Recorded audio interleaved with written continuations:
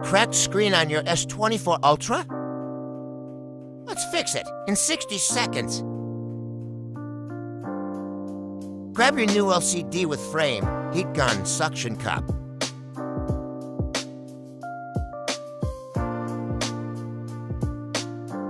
Pry tools and a screwdriver.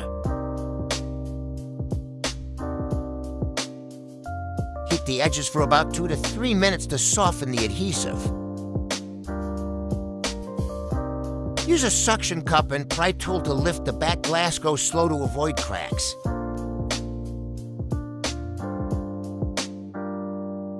Remove screws, disconnect the battery, cameras, and motherboard.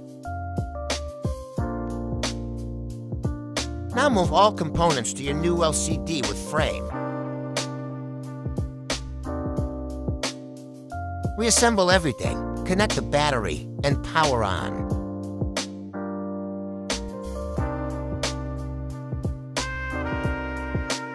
Good as new. Boom, your S24 Ultra is back in action.